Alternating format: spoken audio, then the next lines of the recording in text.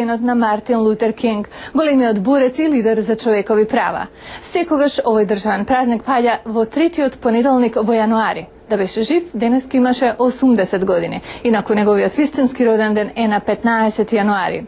Што значи движењето што тој го поведе од следниот прилог? Денес на американскиот народ и на светот сакам да им кажам дека ние тргнавме и дека никаков бран на расизам нема да не запре. Кариерата на Мартин Лутер Кинг како лидер за човекови права започна во 1955 година, кога започна иницијативата за десегрегација на јавниот автобуски превоз во Монгомери, Алабама. Ние, црните жители на Монгомери, сме учесници во ненасилни протести против неправди што ги доживуваме во автобусите многу години. Во август 1963 иницијативата на Мартин Лутер Кинг за еднакви граѓански права се претвори во национално движење. Тој месец преку 250.000 луѓе учествуваа во маршот на Вашингтон.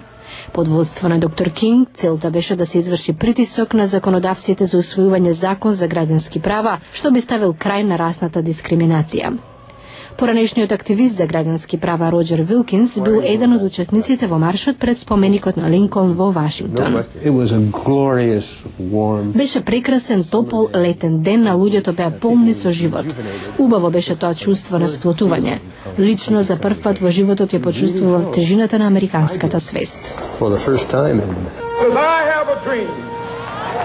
Имам сон дека моите четири мали деца еден ден ќе живеат во земја во која нема да бидат проценувани според бојата на нивната кожа, туку според тежината на нивниот карактер. Токму овие мирни протести и неговите говори го турнаа напред движењето за еднакви граѓански права, а нацијата ја држаа фокусирана на прашањето за еднаквост. Доктор Кинг е добитник на Нобеловата награда за мир во 1964 а истата година председателот Линдон Джонсон го подпиша актот за почитување на човековите права. Наредната година беше донесен актот за гласачки права. Тоа, расната сегрегација на јавни места и дискриминаторската политика спрема црнците кои до тогаш немаа право на глас, ги направи незаконски. Некаде имам прочитано дека големината на Америка е во правото да протестираш за тоа што е исправно. Последната кампања на Мартин Лутер Кинг беше во Мемфис, Тенеси во март и април 68-та. Тој предводеше протести за поддршка на штрајковачките санитарни работници. Овие протести станаа насилни кога млади милитанти почнаа да опустошуваат продавници. На старите го вознемирле Кинг, кој решил да се врати во Мемфис за да предводи мирни демонстрации.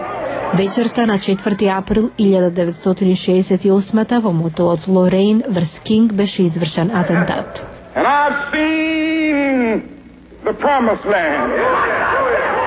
Ја видов ветената земја. Може би нема да стигнам до неа заедно со вас, но сакам да знаете дека ние како народ ќе стигнеме до целта. 40 години подоцна животот и делото на Кинг се прославува заедно со многуте негови реализирани соништа, вклучувајќи го изборот на Барак Обама како прв афроамерикански председател на САД.